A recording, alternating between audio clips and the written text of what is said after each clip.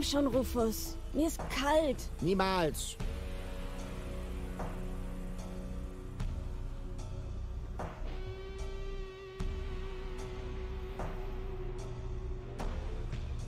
Bitte, Rufus. Ich friere. Lass uns gehen. Hörst du? Dem Mädchen ist kalt. Netter Versuch, Kumpel. Komm, hol mir einen Stiefel. Ich bin auch artig und mach nichts. Rufus, ich hol mir hier den Tod. Beim Klabautermann, jetzt erlöse das Mädchen doch endlich. Sie trägt ja nur einen Pyjama. Doch. Sie könnte ja auch in den Kutter gehen. Oder die Tür zum Gadget-Shop aufmachen. Krawallgul schafft das bestimmt. Rufus, bitte. Okay, okay. Ich geb auf. Ich kann mir das nicht länger mit ansehen. Hier hast du deinen blöden Stiefel. Ich hoffe, das war es wert. Siehst du, Goal? Ich habe gewonnen. Ein kaputter Stiefel. Da staunst du, was? Mein Held. Ja! ii. Und den soll Gun essen? Können wir dem Mann bitte einfach die Bananen geben? Die sind auch gesünder als so ein Stiefel. Zugegeben, es ist Schrott. Aber auch nicht mehr als der Rest, den ich mit mir rumschleppe. Ja. Okay, so jetzt wieder nach Porta Fisco. Jetzt können wir ihm den Schuh geben.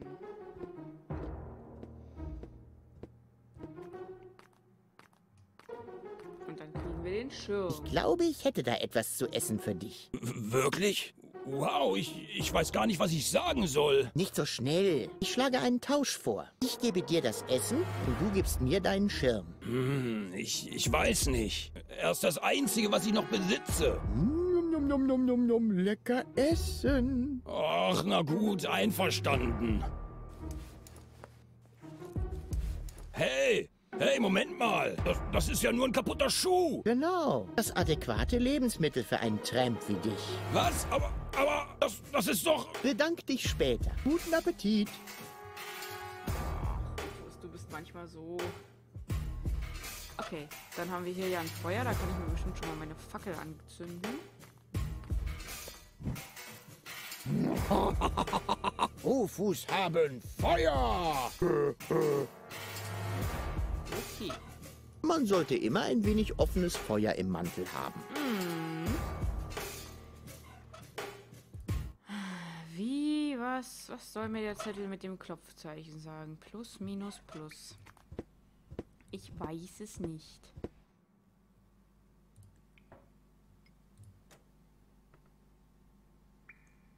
Fein. Ich glaube, ich habe da gerade irgendwas ganz leise im Hintergrund gehört. War falsch. Okay. Falsch. Aber Falsch. verdammt. Falsch. Okay.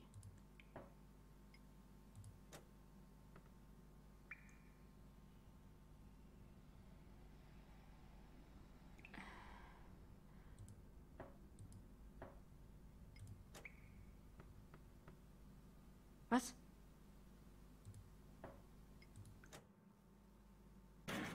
Falsch. Aber Falsch. verdammt. Okay, warte mal.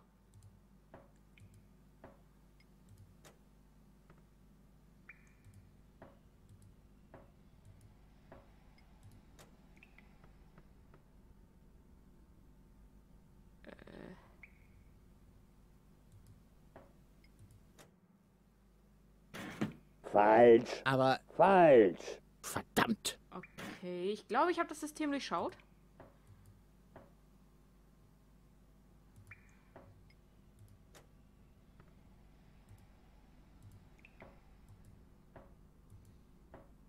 Ich habe davor dreimal geklopft. Er hat jetzt einmal.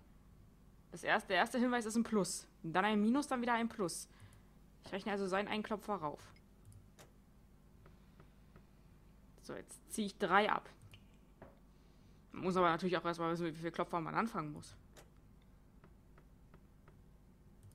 Jetzt hat er viermal. Zwei, drei, vier und meiner. Ja, komm! Hey, das war ja tatsächlich richtig. Natürlich war das richtig, du Morschbirne. Rufus, Bist du das etwa? Was machst du denn da draußen? Tja, Du lässt mich ja nicht rein. Vielleicht klopfe ich einfach gerne. Komm rein. Janosch wartet auf dich. Ah, Gott sei Dank. Oder, ähm, Rufus. Sehr gut. ähm. Wer ist diese Janosch, holde Maid? Wow. Das ist ja nicht nur schlecht, was du hier aufgebaut hast. Ja, die Rekrutierung läuft hervorragend. Ich glaube, ich habe mein Charisma unterschätzt. Ähm, Toni? Oder die Tatsache, dass sich niemand gerne in die Luft sprengen lässt. Toni? Toni, du? Rufus? Ah, ihr kennt euch bereits. Nummer 26. Das hier ist Nummer 2. Unser spiritueller Anführer. Rufus ist Nummer zwei? Das kann nur ein Witz sein. Genau. Warum bin ich nur Nummer zwei? Wir haben inzwischen mehr als 25 Leute für unsere Sache gewinnen können. Also 26. Genau. Da sind allerdings auch die drei abgerichteten Delfine schon mitgeschält. Also beschwer du dich noch einmal über deine Nummer. Ihr richtet Delfine ab? Das ist mein Job hier. Was dagegen?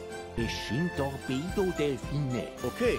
Dass unter Tonis Obhut selbst niedliche Delfine zu blutrünstigen Mordwaffen werden, leuchtet mir ein. Aber wozu das Ganze? Was nutzen abgerichtete Delfine bei dem Versuch, einen Fahrstuhl in den Orbit zu kapern? Man muss halt nehmen, was man kriegen kann. Was offenbar insbesondere für spirituelle Anführer gilt. Zuerst wollten wir Flugdrachen haben, aber das hat sich als fataler Wildschlag erwiesen.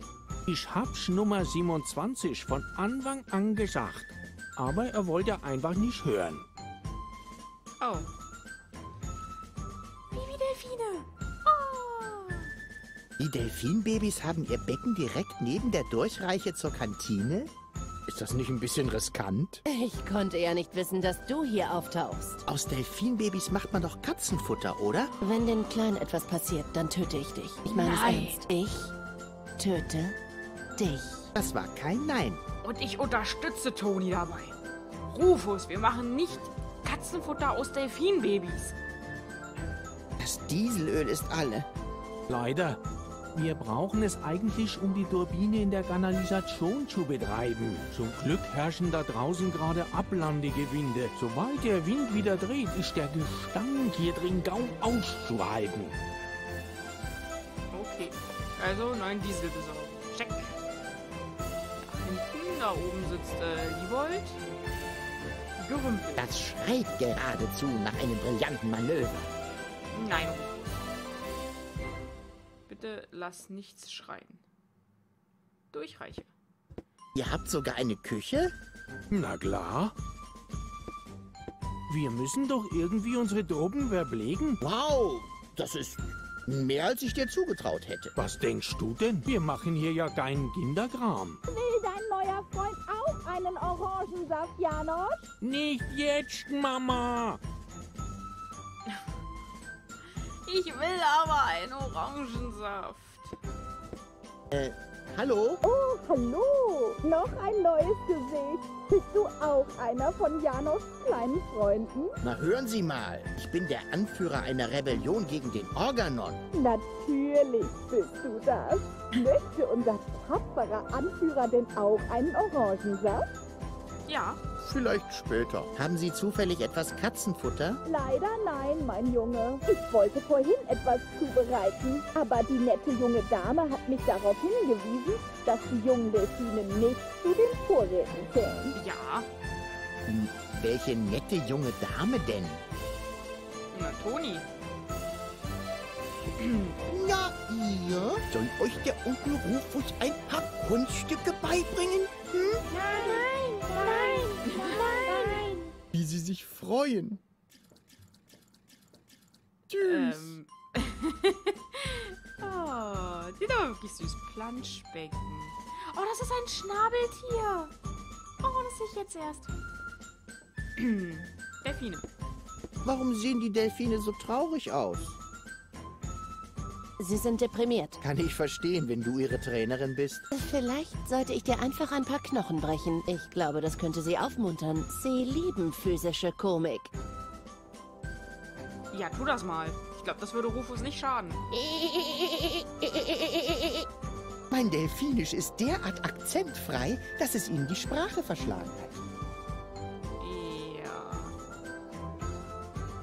Na, sieh mal an, wer mir da hinterhergelaufen kommt. Tja, meiner magnetischen Anziehungskraft konntest du eben noch nie widerstehen. Mach es bitte kurz, ja? Ich habe hier eine Aufgabe, die meine volle Konzentration erfordert. Delfine hüten. Einen Brechreiz unterdrücken. Was machst du hier überhaupt?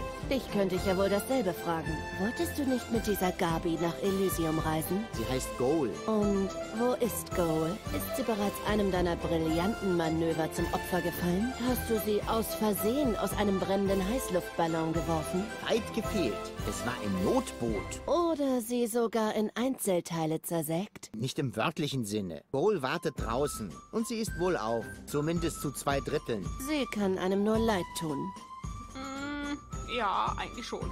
Wie bist du hier gelandet? Du wusstest ohne mich wohl nichts mehr mit dir anzufangen, was? Tja, ich wachte eines Morgens auf und stellte verwundert fest, dass es in der ganzen Wohnung keinen einzigen Brand zu löschen gab. Ich musste kein Dach neu decken, keine Zahnpasta aus den Heizungsrohren polen, keine verwundeten Nachbarn verarzten. Es bestand nicht einmal die Notwendigkeit, einen Gnu aus der Küche zu verscheuchen. Und da packte dich die Sehnsucht nach mir. Und da erinnerte ich mich daran, dass ich seit Jahren keinen Urlaub mehr gemacht habe. In Busa Westwalk hörte ich dann Gerüchte von einer Rebellion gegen den Organon. Das hat scheinbar mein altes Rettersyndrom getriggert. Du und ein Rettersyndrom? Wenn überhaupt, dann hast du ein Prinzessinnen entführen und mit Feuerbällen auf Retter werfen Syndrom. Nenn es wie du willst. Ich dachte nur, dass meine Erfahrung im Bergen von Explosionsopfern nützlich werden könnte. Tja, du hast mir so einige Fähigkeiten zu verdanken. Kann ich nicht mal bestreiten. Schön, dass du da bist. Verpiss dich. Ach, Toni. Ob du es glaubst oder nicht, ich bin der Anführer. Oh, Himmel, das ist genau wie in meinem Albtraum. Also träumst du immer noch von mir. Ich war sogar in Therapie deswegen. Tja, so gerne ich über deine mich bezüglichen Fantasien sprechen würde, dein Traummann hat eine wichtige Mission. Oh, Du wirst nicht glauben, was mir alles passiert ist. lass mich keiner. raten. Du warst schon fast in Elysium und dann ist dir wieder einmal deine Gutmütigkeit dazwischen gekommen. Woher weißt du das? Weil das Gespräch jedes Mal so abläuft. Als nächstes sage ich dann, das hast du beim letzten Mal auch schon gesagt. Aber und diesmal du sagst, es. Aber diesmal war es wirklich so. Exakt. Und auch wenn du gleich das Gegenteil behaupten wirst, du wirst dich nie ändern. Aber ich habe mich geändert. Verdammt. Das Delfinbecken müsste mal wieder geputzt werden, Rekrut. Bitte was? Ich hoffe doch, ich habe mich verhört. Aber Toni, ich bin immerhin der Anführer. Ich muss darauf achten, dass hier alles seinen geordneten Gang geht. Ich kann dich unmöglich bevorzugen, nur weil wir mal äh, zusammen waren. Das ist doch... Gibt es Probleme, Rubus? Ich glaube, du hast deine Mannschaft nicht im Griff, Janosch. Nummer 26 hier wollte mir doch tatsächlich gerade widersprechen. Tatsächlich? Ich darf doch wirklich sehr bitten, Nummer 26. Wenn der Chef etwas anordnet, dann hast du Folgen zu leisten. Äh, aber... Kein Aber, Rekrut. Ei, ei, Chef.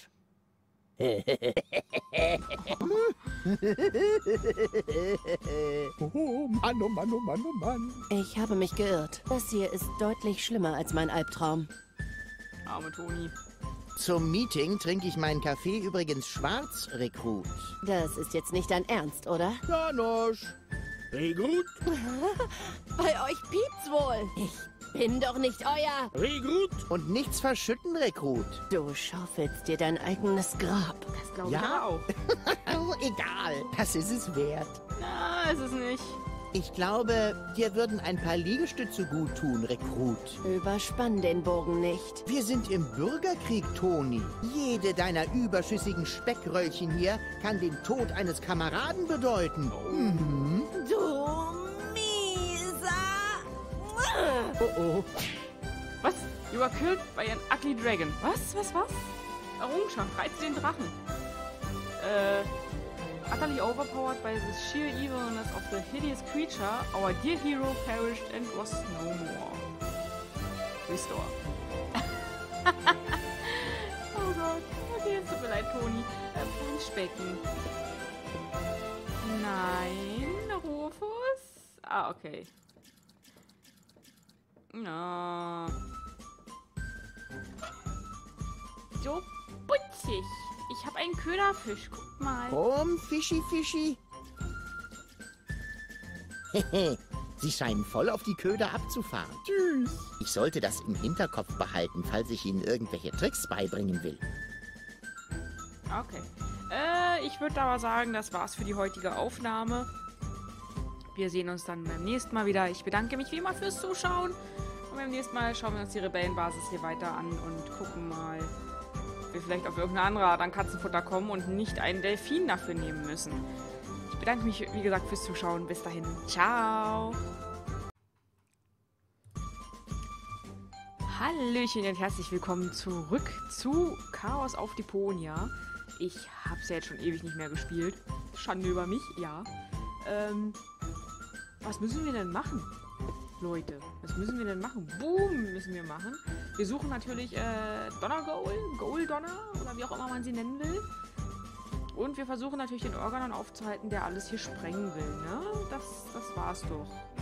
Hier gibt es ein süßes Planschbecken mit süßen Pinguinen, mit Milchräuche, Gerümpel. Das schreit geradezu nach einem brillanten Manöver.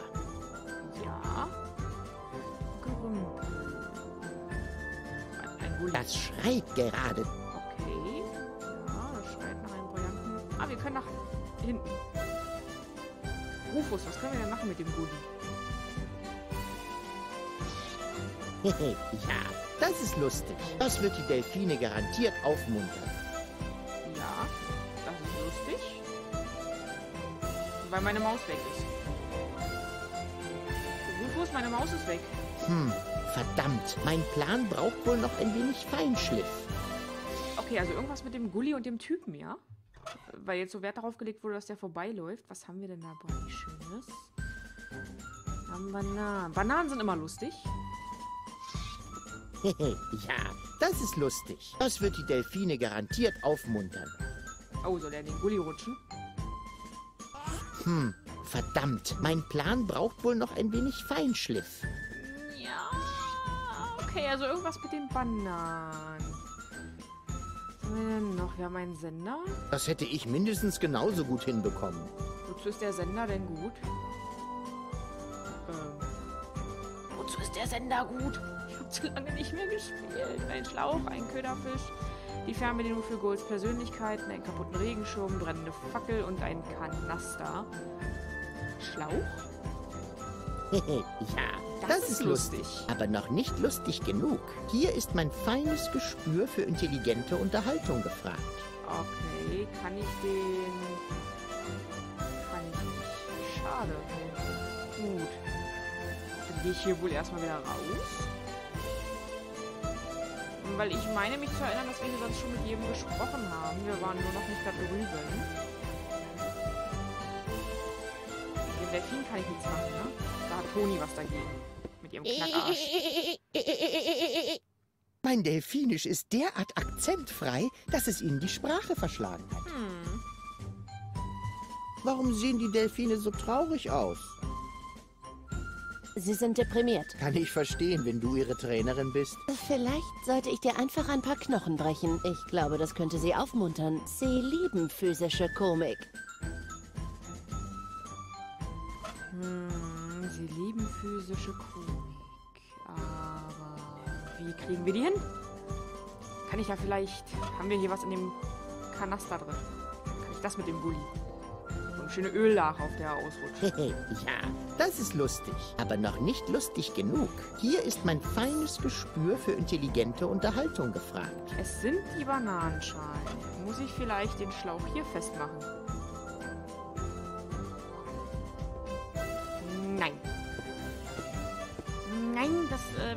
So ganz richtig. Was ist eigentlich mit dem Babydelfin? Mit dem kann ich auch reden. Wieso?